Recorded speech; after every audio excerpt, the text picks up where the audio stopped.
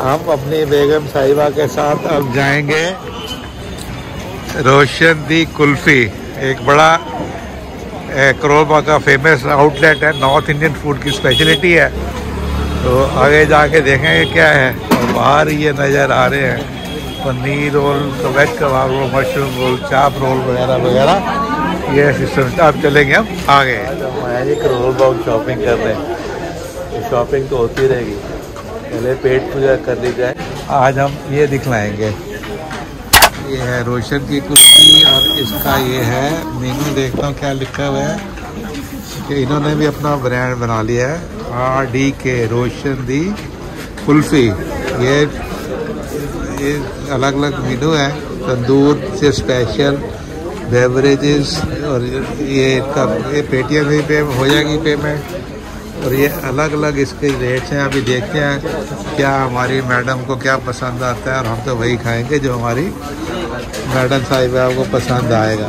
तो ये है जी इस रोशन दी कुल्फ़ी के यूज़ ये स्वीट्स हैं और एज यूजल करोल बाग में तो रश तो रहता ही है। हाँ जी, हमने ऑर्डर किया है जी। सिस्टम ये है कि पहले वहाँ से बाहर से टोकन निकलवाना पड़ता है। पेमेंट करके और ये हमें उन्होंने रसीद दी है। रोशन दी कुल्फ़ी। हमने ऑर्डर किया है चना भटूरा 170 कुल्फ़ी फलूदा 160 मसाला डोसा 180 पाँच सौ टोटल बना है। तो क्वालिटी इसकी बड़ी मशहूर है। हम काफ़ी देर बाद आ रहे हैं, देखते हैं क्वालिटी वही है या कुछ बेटर हुई है। हाँ जी, कुछ बोलो। कुछ बोलो। नहीं बोलना। बोलो बोलो बोलो। मैं अपनी मैडम को बोल रही कुछ बोलो, भाई बोल नहीं रही ये हम, हमारी मैडम ने जी तीन डिफरेंट डिफरेंट जगह से शॉपिंग की है। तो तीन जगह शॉपिंग की है और तीन हम आइटम ले रहे हैं। मज़े आ गए।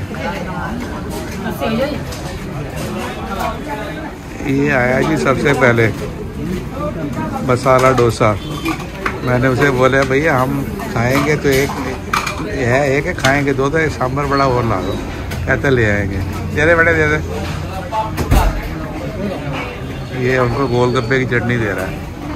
सांभर बाद में लाएगा। इसकी प्रेजेंटेशन है जी नीचे इन्होंने ये हरा पत्ते रखे हुए बनाना लीफ कट वाटे वाटे ये बनाना लीफ के ऊपर ये सर्व कर रहे हैं। ये आया जी सांभर गर्मा गर्म एक डिश और मंगाया। स्टीम निकल रही है इसमें। ये है जी। ये हमारा डोसा तो ऑलमोस्ट ख़त्म हो रहा है जी लेकिन इसकी फिलिंग जो थी क्वांटिटी काफ़ी ज़्यादा थी। हाँ जी ये हो गया ख़त्म। कमेंट दसो जी किस तरह देने बहुत टेस्टी सी की टेस्टी सी? डोसा सांबर डोसा और सांबर सांबर की गरम सी ठंडा सी? टेस्टी सी। की की पाया थी उन्होंने है? मैंने नहीं पता तुझे अच्छा था जी ये चटनी कोकोनट की और ये दूसरा ये एग ही है थी साउथ इंडियन कोई था लेकिन ओवरऑल टेस्टी था। ये अब आए हैं जी। ये छोले भटूरे बड़ा लफ़ी है। ये इन्होंने प्याज की चटनी है, मिर्च है, और ये अचार है। और ये छोले वो खा गए, देखते हैं कैसे लगता है। रेट इसका कितना लगा इन्होंने? कुल छोला भटूरा एक सौ सत्तर रुपये शुरू करो अंताक्षरी, लेके प्रभु का, या धुआँ निकल रहा है इसमें से? हाय हाय हाय हाय। चलो।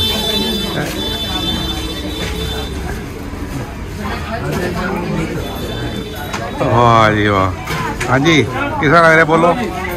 घर में? की अच्छा जल्दी ठंडा हो जाएगा। ठंडा हो जाएगा मैं खाना बाद अरे वाह बहुत अच्छा जी। ये भाई गोलगप्पे लेके जा रहा है पीछे वाली उसके लिए। ये हो गया जी। ये है आंवले का अचार। प्याज और चने के साथ इन्होंने पनीर के टुकड़े भी दो दिए हुए छोटे छोटे हाँ जी की की पाया थे जी? लग रहा है कुछ आया। अरे की की पाया है? सारे मसाले सारे मसाले हैं? पनीर सारे। अचार अचार किस नाम ले अच्छा। है? हाँ। जी। हम आज के हमारे लंच की जी लास्ट आइटम है कुल्फ़ी फलूदा। मौसम तो सर्दी का है जनवरी का महीना है पर इसकी यहाँ स्पेशलिटी है छोले भटूरे और कुल्फ़ी फलूदा। तो चाहे हमें बाद में जुकाम लगता रहे। हैं जी मैडम बेशक जुकाम लगता रहे लगेगा? हाँ फलूदा ज़रूर खाएँगे। खाओ तो फिर दसना जरा। चलो शुरू करो। शुरू करो। ये है जी कुल्फी। ये है फलूदा। इसके भैया ये पीले कलर का क्या डाला हुआ है? क्या किया है पीले कलर का? केसर। ओ, केसर वाला है जी। ये केसर वाला है लाल है। कीमत लगाई इन्होंने। एक सौ साठ रुपये रेट थोड़े ज़्यादा हैं पर क्वालिटी भी है साहब में।